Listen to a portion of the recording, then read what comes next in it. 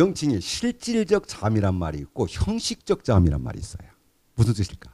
형식적 잠은 모양만 있고 음가가 없는 거예요. 어? 실질적인 자음은 모양도 있고 음가도 있는 거예요.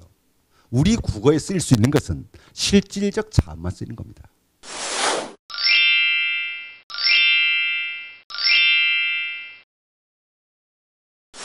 바로 이 셋 중에 이응 중에 실질적 자음이면서 우리 현대 국어에 남아 있는 이응은 어떤 글자일까요? 응? 맨 앞에요? 아닙니다. 맨 앞에면은 금방 얘기를 했겠죠. 어, 이거 음가 없는 거예요. 그래서 현대 국어에 남아 있는 이응은 바로 이엣 이응입니다.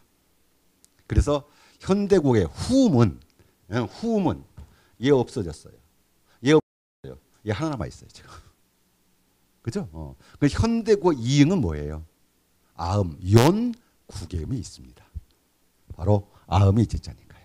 어? 어, 이게 현대 이응이야? 어, 이게. 자, 여하튼 자 초성 17은 어떻게 만들었다? 자 기본자, 발음기관의 형상을 본뜬 다섯 가지. 됐죠? 어, 외우면 되겠죠? 다음에 두 번째 원리는 거기다가 획을 더 그었던 가백의 원리. 근데 가백의 나머지는 기본자의 가백이 두 번씩 있는데 기억만은 가백이 한 번밖에 없습니다. 네. 자, 그 다음에 가백으로 설명할 수 없는 글자 모양을 변형했다. 뭐라고 한다? 이체자. 자, 명칭 다시 한번. 얘를 옛 이응. 얘는 리를 하지 말고 반설음. 응? 어, 얘는 세모가 아니라 반치음. 됐습니까? 네. 자, 이렇게 해서 17은 끝났습니다. 자, 두 번째는요. 이제는 중성자입니다. 모음계리겠죠. 어. 그러니까 여기도 기본자가 초성이 다섯 글자면 여기는 세 글자입니다. 그래서 고전법은 여러분들이 오늘만 해요. 오늘만 갈려지게 되니까 오늘 것만 해요. 단단하지 말고. 어. 자 여기가 발음 기관의 형상이었는데요. 자 오른쪽 그 아래쪽을 볼까요? 중성은요. 뭘 본떴답니까? 천, 지, 인, 삼재를 본떴답니다. 어? 천, 지, 인, 삼재를. 자 그러면 천 하늘의 둥근 모양. 이걸 뭐라고 해요? 설마 점 하는 거 아니겠지? 자, 아래야. 땅의 평평한 모양. 그 사람의 서 있는 모양. 쉽잖아. 어? 천지인입니다. 자, 여기에 초성자가 획을 더 그었던 가백이었었죠.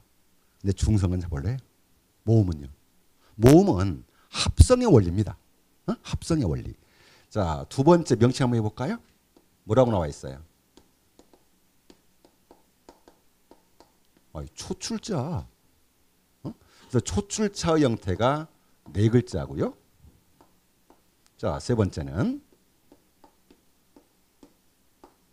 자, 제출자. 얘도 네 글자입니다.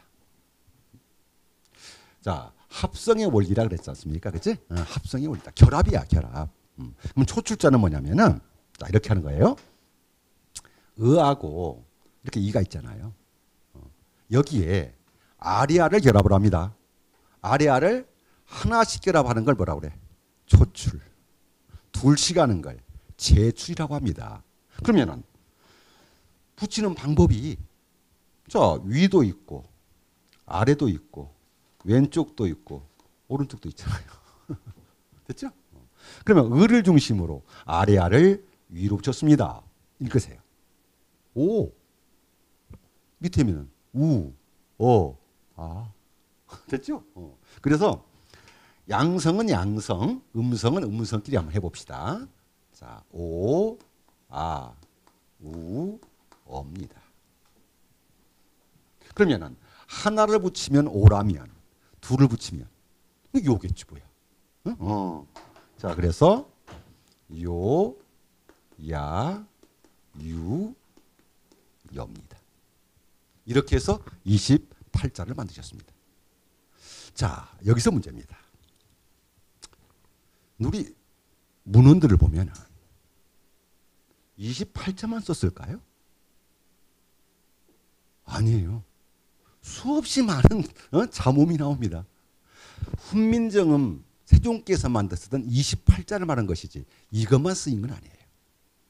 응? 여기 모, 실제 모음이 응? 중성이 11자만 나와 있잖아요. 그죠? 어. 근데 실제 그 당시로 돌아가 보면 실제 사용된 모음은 23자나 됩니다. 지금 12자가 안 보여요, 지금. 어? 없어서가 아니라 여기 소개를 안 했을 뿐인 겁니다. 자, 계속 한번 결합해 볼까요? 자, 예를 들어서 아레아에서 시작해서 이로 끝나는 몸이 있습니다. 의에서 시작해서 이로 끝나는 몸이 있습니다. 계속 만드는 거예요, 이제. 그 다음에 우리가 모음조화라는 것은 양성은 양성, 음성은 음성끼리 어울리는 걸 모음조화라고 합니다. 여기 하늘을 본뜬 아래아는 양성입니다. 하늘은 양성이죠. 땅은 음성입니다. 근데 이, 이 사람은 양성도 음성도 아닌 중성입니다.